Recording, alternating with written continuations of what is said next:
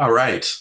Hello, everybody. Uh, my name is Sam. I'm from the 100 Plus Accelerator team, uh, and I'm here today quickly just to take you through our Cohort 7 uh, application form in F6S. First, I want to just say thank you so much uh, for taking the time to fill out uh, our application, and uh, yeah, let's get into it. So, uh, I'm going to take you through the form, just show you what kinds of questions you're going to be dealing with. I have a few questions that uh, I want to cover specifically, and then at the end, I'll just give you two little quick pieces of advice uh, to make your application the best one that it can be. So you can see here that I've set up Sam's Test Company. Uh, I think it's awesome. And uh, I filled out the form here. So you can see there's uh, text-based answers like this, where you just type your answers in. Uh, we have drop-down answers like this one here, where you choose from a list of options. Uh, we have number questions like this, where you type in numbers. Typically, we're asking about funding or other other money-based questions. And then right at the end, I'd like to show you this one last style of question. Yeah, so these two questions here, question 34 and question 35, there may be others like this as well. Um, they are giving you the option to provide emails for us to reach out and also for you to provide videos for us to watch. Uh, and we're giving you the option to provide up to three. So you'll see, let's say I want to provide three videos, right? So I'm going to click this first box here next to URL video one, and then it's going to give me an area to paste the video link, which is great. I've just pasted our website, but obviously for you guys, you'll paste uh, whatever material you want us to watch. Now, say you have a second video that you want us to watch, you'll just click this second box and then paste the link here. And then again, a third link here like that. Obviously, if you only have one video or two videos, just select that many boxes, but please um, choose these boxes if you'd like to upload more than one. Okay, with that in mind, that's all the types of questions that we have in this form. Uh, I just want to mention one thing super quickly about these questions here.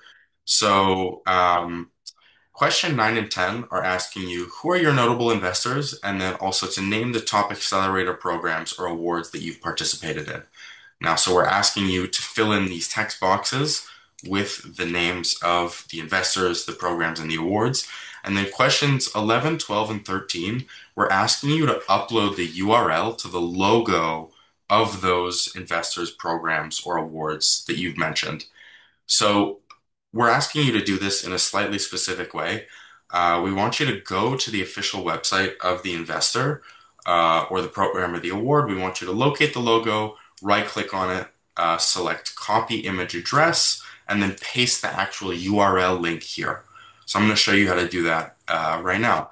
So on our website, just as an example, if we say that um, AB InBev is a uh, is an investor in Sam's test company, uh, for me to upload the URL, it's very simple. I just there's this little image here on our website, so I'm going to right click it, and then it's going to give me this big list of options, and I'm going to click copy image address.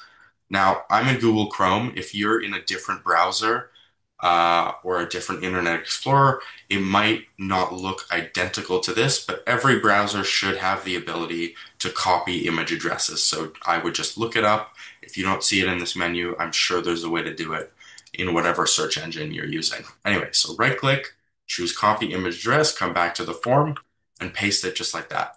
Now, an important detail to mention, and it's also mentioned here as well, is that we're only accepting files that are in .png, .jpg, or .jpeg formats. And that's just to make our jobs a little bit easier after you guys have applied. So you can see that this one is perfect because right at the end of the whole link, it says .png, and that's exactly what we're looking for. Now, the last, last thing about the form that I want to mention quickly is the uh, questions 18 and 19. So question 18 is asking you which challenge you're applying to, right? And we have this little drop down list. And then question 19 is asking you which sub challenge are you applying to? And there's a big, big list. Now, this list may look intimidating, but our website covers every challenge and each of its sub challenges with big descriptions. So if you go to our website, we have this challenges tab that you can see here, and it has every single challenge in it. And if you just click on the learn more, it'll bring you to the sub challenges and a description of each. So if you're not sure which uh, which sub challenge or which main challenge applies to you the most, I would highly recommend going to our website and looking them up uh, and finding the one that uh, fits you or your startup the best. Every year, we get startups that um, whose product or what they do is applicable to multiple sub challenges or even multiple main challenges. We just ask that you make a judgment call uh, on that one and just pick the one that you think uh, represents your startup uh, the best. Anyway, with that in mind, that's the form. Very simple. Uh, there's about 35-ish questions. We think that it should take you maybe 15 to 30 minutes uh, to fill out the whole thing. So not too bad. But um, in terms of filling out the actual form, I have two little quick pieces of advice for you. Uh, thing number one, we always recommend is just keep, excuse me, keeping your answers clear and concise.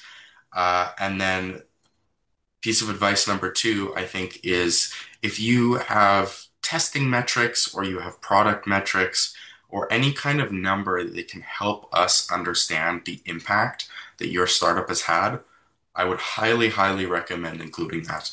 Metrics are amazing because it tells us what your startup does and then also immediately gives us a number to show the impact of your startup or your product or whatever you guys are doing. So I would highly, highly recommend using metrics if possible. If not, that's totally okay. But um, if you have metrics surrounding your impact, that's just, it's the easiest way for us to understand the impact that your startup has had. And it's a very clear way of communicating that. Um, but yeah, with that in mind, I want to just say thank you so much again for taking the time to apply to our program and good luck.